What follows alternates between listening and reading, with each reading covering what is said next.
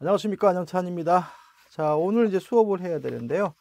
어, 첫 시간은 음, 저번 주에 했던 거 복습하는 시간이고요. 두 번째, 세 번째, 네 번째 시간에 진도를 나갈 거고요.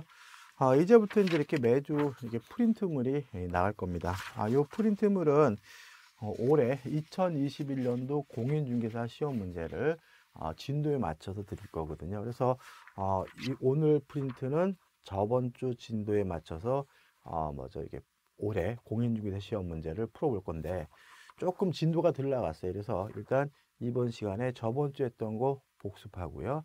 다음 시간에 좀 일정 부분 진도 나간 다음에 요 문제를 풀어보도록 할 거고 그래서 이제 매주 어, 매주 첫 번째 시간에는 어, 복습을 하고 그 다음에 저번 주에 했던 내용에 관한 올해 시험 문제도 풀어보고 그럴 겁니다. 자 교재 몇 페이지를 펴시면 되는 거죠? 어, 37페이지입니다. 자 37페이지 보시면 저번 주에 했던 내용 복습합니다. 권리 변동이 나와요. 자 권리 변동이란 게 뭔가요? 권리가 발생되고 변경되고 소멸되는 것을 우리가 권리의 변동이라고 하는데 38페이지 오시면 어, 권리의 발생에서 누구한테 넘겨받는 것이 아니라 맨 처음으로 권리를 취득하는 것을 우리가 절대적 발생 원시 취득이라고 하고 건물을 신축하는 것을 예를 들 수 있는 거죠. 그 다음에 이미 권리, 있는 권리를 넘겨받는 것을 승계 취득 상대적 발생이라고 하는데 권리를 넘겨받음으로써 구권리자의 권리가 소멸된다면 이걸 우리가 아, 이전적 승계라고 하고 권리를 넘겨받았는데도 불구하고 구권리자의 권리가 소멸되지 않는다면 이걸 우리가 설정적 승계라고 하죠. 자, 39페이지입니다. 자, 이러한 이전적 승계가 다시 특정 승계와 포괄 승계가 있다. 매매같이 구권리자의 특정된 권리를 넘겨받으면 특정 승계고요. 어, 전 권리자의 모든 권리 의무가 한꺼번에 오는 상속과 같은 것은 포괄 승계인데 특정 승계와 포괄 승계는 이전적 승계의 예라는 거 좀 기억해 두셔야 되겠죠. 그 다음에 권리의 변경이죠. 가 주체 변경. 주체 변경이란 이전적 승계와 같은 의미고요. 자, 내용의 변경은 두 가지가 있습니다. 아, 질적 변경과 양적 변경. 질적 변경이라는 것은 권리 자체가 다른 권리로 뒤바뀌는 것을 말하고요. 양적 변경이라는 것은 권리 자체는 그대로인데 권리자로서의 할 수 있는 일에 양이 주는 것을 우리가 양적 변경이라고 하죠. 예를 들어서 자신이 소유하고 있는 부동산에 전세권을 설정해 주면 여전히 소유자인 것은 변함이 없지만 더 이상 사용할 수 없다, 수익할 수 없다, 할 수 있는 일의 양이 줄고 있기 때문에 양적 변경이고요. 이것과 구별해야 될 것이 40페이지의 작용의 변경이죠. 권리도 그대로고 권리자로서 할 수 있는 일의 양도 그대로인데 힘, 파워가 바뀌는 것을 우리가 작용의 변경이라고 하고 주택 임차권자가 대항력을 취득하는 거 작용의 변경이고 선순위 저당권이 말소가 되는 바람에 후순위 저당권의 순위가 승진되는 것도 작용의 변경이라 했던 기억이 나네요. 그 다음 권리의 소멸이죠. 자, 모든 사람들이 봤을 때 권리 자체가 없어지는 것을 우리가 절대적 소멸이라고 하고 특정된 사람 입장에서는 권리가 없어지는 것을 우리가 상대적 소멸이라고 하고요. 따라서 이전적 승객이 이루어지게 되면 구권리자의 권리가 소멸하게 되는데 이 경우를 우리가 상대적 소멸이라고 할 수 있는 거죠. 그 다음에 제2절에서 권리 변동의 원인입니다. 법률 요건, 법률 사실이죠. 자, 법률 효과의 발생을 목적으로 하는 음, 법률 사실의 총체, 법률 사실의 집합을 법률 요건이라고 하고요. 법률 사실은 그러한 법률 요건을 구성하고 있는 개개의 사실을 말하는 거죠.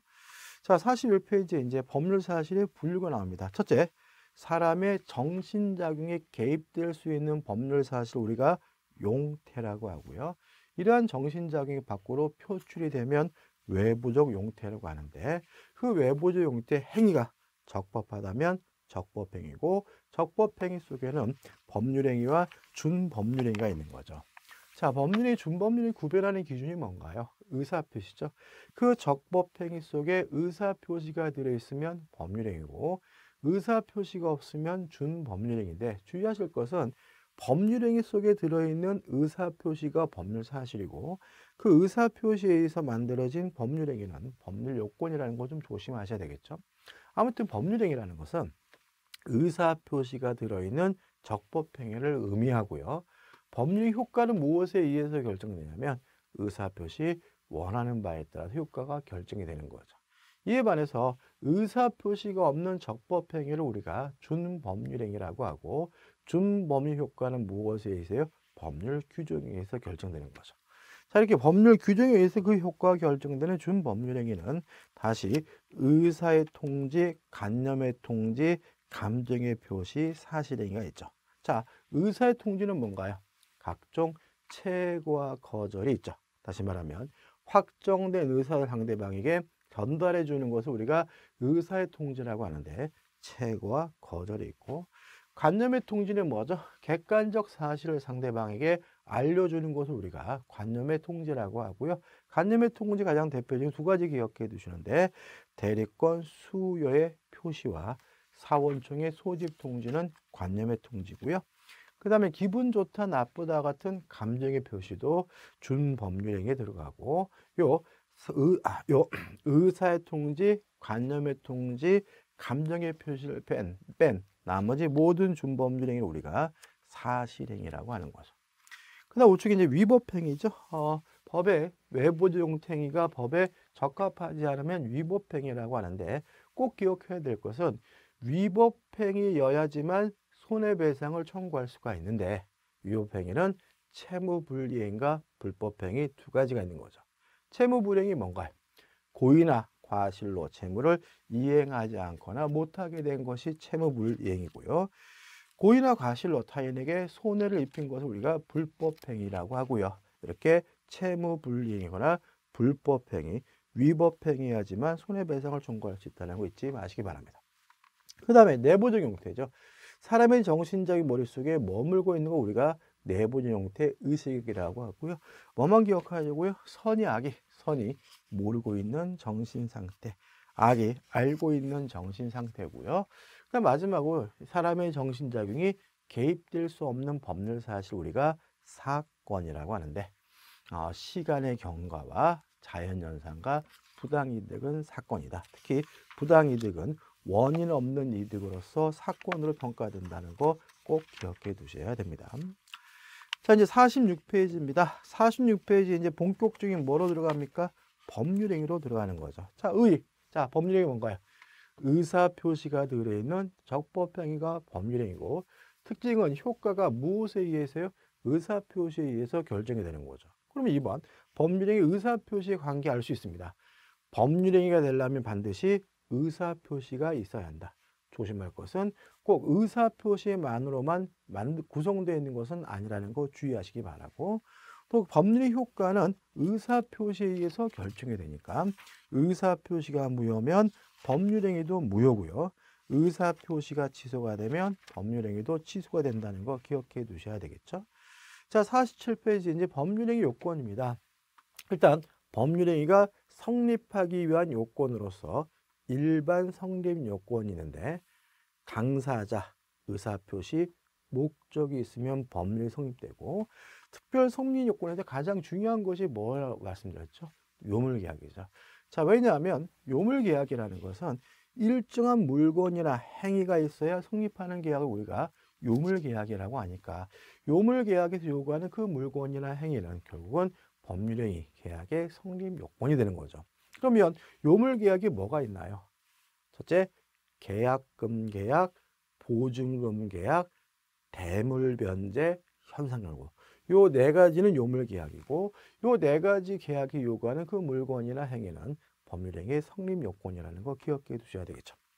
그 다음에 성립한 법률행위는 무효일 수도 있고 유효일 수 있는데 유효하기 위해서는 법률행위의 효력 요건을 갖춰야 되는데 일반 효력 요건으로서 첫째 당사자에게 권리 능력, 의사 능력, 행위 능력이 존재해야 되고요.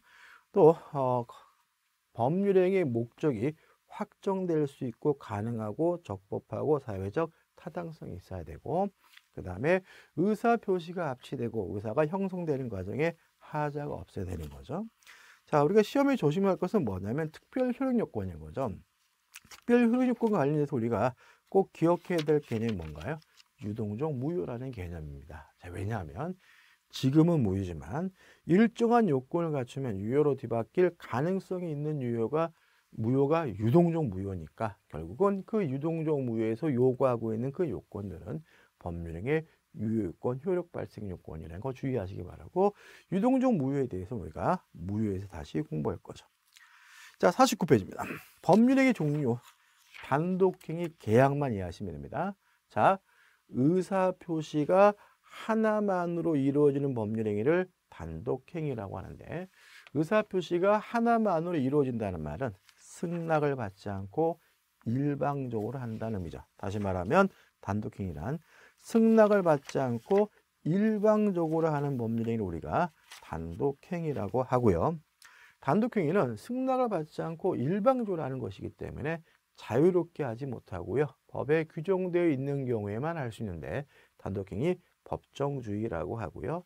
단독행위는 승낙을 받지 않고 일방적으로 하는 것이기 때문에 원칙적으로 조건도 기한도 붙일 수가 없는 거죠. 자, 이러한 단독행위가 두 가지가 있습니다. 상대방 있는 단독행위와 상대방 없는 단독행위 있는 거죠. 차이가 뭔가요? 그 의사, 일방적 의사표시가 상대방에게 도달돼야 성립하는 법률행위를 단독행위를 상대방 있는 단독행위라고 하고요. 동의, 채무 면제, 취소 등이 있는데 꼭 기억할 것은 소유권, 점유권 이외의 권리를 포기하는 것은 상대방 있는 단독행위고요. 또 의사표시가 상대방에게 도달하지 않아도 성립하는 법률행위 우리가 상대방 없는 단독행위라고 하는데 소유권, 점유권의 포기가 대표적인 상대방 없는 단독행위고요. 재단법인 설립행위도 상대방 없는 단독행위에 해당하는 거죠. 자, 이에 반해서 승낙을 얻어야 성립하는 법률행위를 계약이라고 하고 어차피 계약은 승낙을 얻어서 하는 것이니까 나쁜 짓만 아니면 뭐든지 할 수 있다. 계약 자유의 원칙이라고 하고요. 또 계약은 어차피 승낙을 얻어서 하는 것이니까 원칙적으로 조건이나 기한을 붙이는 것도 가능한 거죠. 합동행위는 중요하지 않죠. 그 다음에 채권행위, 물권행위, 준물권행위죠. 일단 채권행위라는 것은 채권을 발생시키는 법률행위가 채권행위고요.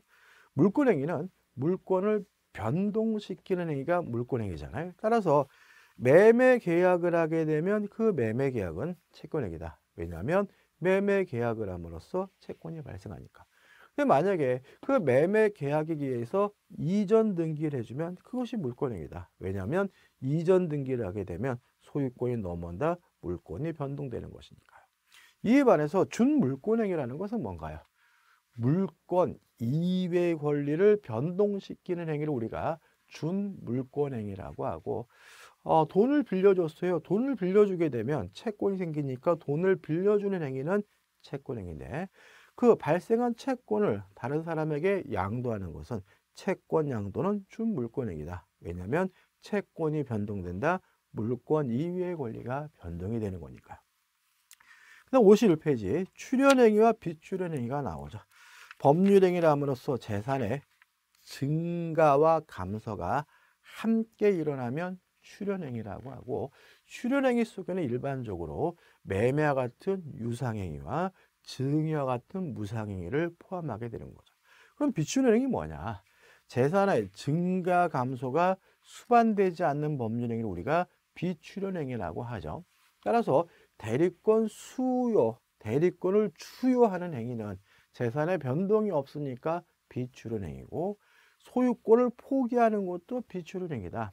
왜냐하면 소유권을 포기하면 재산의 감소만 있을 뿐 증가가 없으니까. 다시 말하면 증가와 감소가 함께 일어나야 출연행위니까 소유권의 포기는 재산의 감소만 있을 뿐 누구의 재산이 증가되는 것은 아니니까 대표적인 비출연행위가 되는 거죠. 요식행위, 불요식행위, 법률행위가 성립하기 위해서 특별한 방식이나 형식이 요구되는 행위를 요식행위라고 하고 아무런 방식도 형식도 요구되지 않으면 불요식행위라고 하는데 우리 민법은 대부분이 뭐죠? 불요식행위고 주된행위, 종된행위 한번 보시야 될것 같고 신탁행위, 비신탁행위는 통정어휘 표시할 때 정리할 거죠. 자, 이제 53페이지부터 이제 뭐라고 합니까? 법률행위의 목적, 목적에 관한 유효 요건으로 갑니다. 첫 번째 유효 요건, 목적의 확정인데 하나만 기억하시면 됩니다. 확정 가능성이다. 목적이 확정되어야 법률행위가 유효한 것이 아니라 확정될 가능성만 있으면 유효하고요. 두 번째 요건 54페이지 목적의 가능입니다. 일단 첫 번째 가능한지 불가능한지 여부는 과학적 물리적으로 따지는 것이 아니라 사회, 통념, 거래, 관념, 상식에 따라서 판단하게 되는데 이러한 불능이 원시적 불능과 후발적 불능은 아니다. 뭘 기준합니까? 법률 행위를 하기 전에 이미 불가능한 경우 우리가 원시적 불능이라고 하고요. 원시적 불능은 무효이기 때문에 효력이 없으므로 이행하지 못하더라도 책임지지 않는 것이 원칙입니다. 다만 일정한 경우에는 계약 체결상 과실 책임이 발생할 수 있는데 그 계약 체결상 과실 책임은 계약법에서 보게 되고요. 또 후발적 불능이죠. 뭔가요? 법률 행위를 할 때는 가능했는데 법률 행위를 한 후에 불가능하게 되면 후발적 불능이고요. 후발적 불능은 유효합니다. 따라서 책임을 져야 돼요. 어떻게 책임을 질 것인지는 어, 채무자에게 고의 과실이 있느냐 없느냐에 따라서 유언부담 문제와 채무 불이행 중에서 이행 불능 문제를 가게 되는데 이것도 구체적인 것은 계약법에서 공부하게 되는 거죠. 자, 우측에 이제 전부 불능, 일부 불능이죠. 말 그대로입니다. 전부가 할 수 없으면 전부 불능, 일부가 할 수 없으면 일부 불능인데 원칙적으로 일부가 불능이면 전부가 무효인 것이 원칙입니다. 왜냐하면 일부가 무효면 전부가 무효라는 민법 규정 때문에 그렇고요. 그 다음에 세 번째 유효권으로서 목적의 적법인 거죠. 자, 법은 우리가 그 강행성을 근거로 해서 준수 여부가 강제되는 경우를 강행법규라고 하고 준수 여부가 강제되지 않으면 임의법규라고 하고요. 임의법규는 안 지켜야 되는 거죠. 따라서 임의법규를 위반한 법률에게는 무효가 아니라 유효한 거고요. 이 강행법규가 준수 여부가 강제되는 강행법규가 다시 둘로 나뉘게 되는 거죠. 단속 규정과 효력 규정, 효력 규정과 단속 규정이죠. 다시 말하면 강행 규정이기 때문에 위반하면 안 되는데도 불구하고 위반했다는 이유로 그 법률의 자체가 무효가 되는 경우 우리가 효력 규정이라고 하고요. 위반하면 안 되는데도 위반했을 때 처벌은 따르지만 행위 자체가 유효한 경우를 단속 규정이라고 한다. 여기서 꼭 기억할 것은 우리 민법에서는 단속 규정이 없다. 따라서 민법상 강행 규정은 무엇만을 말하게 돼요? 효력 규정만을 의미하게 된다는 거 잊지 마시기 바라고요. 그러면 단속 규정은 우리 민법이 없으니까 민법이 아닌 곳에도 공부하게 되는데 기억해야 되는데 두 가지를 기억해 두시면 되거든요. 올해 시험은 좀 마음에 들지 않게 나왔는데 두 가지. 첫째, 부동산 등기 특별조치법의 중, 아, 미등기 전매행위 금지 규정은 단속 규정이다. 따라서 하다 걸리면 처벌은 받지만 그 행위의 결과인 중간 생략 등기는 무효가 아니라 유효한 거고요. 또 주택법의 전매행위 금지 규정도 단속 규정이다. 따라서 그 전매행위가 금지되는 구역에서 전매행위를 하다 걸리면 처벌은 맞지만 전매행위 자체는 무효가 아니라 유효라는 것이 우리 판례 입장이라는 것까지 꼭 기억해 두시기 바랍니다. 자, 여기까지 해서 이제 우리가 저번 주에 했던 거 정리했고요. 이제 다음 시간에 이번 주 진도를 나가도록 하겠습니다.